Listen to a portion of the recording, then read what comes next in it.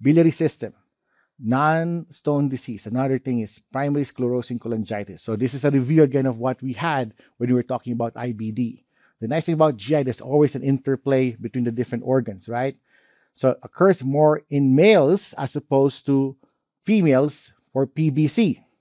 The cause is unknown and inflammation leads to sclerosis or scarring. Here, it's AMA negative, but P-ANCA positive. 75% of PSC have UC. Some Crohn's disease patients may also have it, but mostly UC patients. IBD patients with increased uh, persistent elevation in alkaline phosphatase should be screened uh, for PSC. And again, imaging tests, MRCP, MRCP. That's why my radiologist loves me.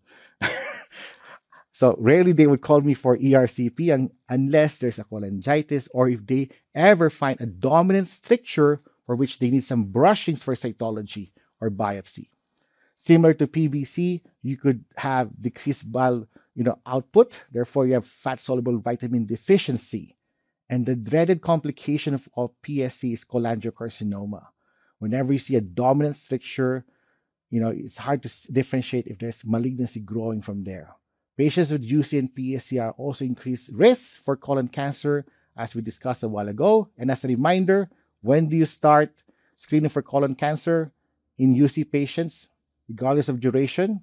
When you get to diagnose them with PSC as well. And remarkably, when you have PSC, you're also at risk for gallbladder cancer, another bad disease with very bad prognosis. This is the onion skin fibrosis you see in PSC. Um, this is hard to see. Uh, often I see them some certain liver slices, but not always. This is PSC, the same picture you had for an ERCP.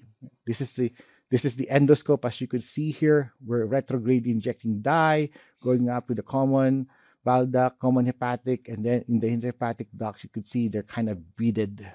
They're not healthy looking bile ducts.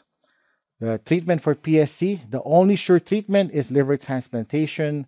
There's even protocol for someone with cholangiocarcinoma sometimes in earlier stages. Colectomy can cure UC, but it will not affect the course of your PSC.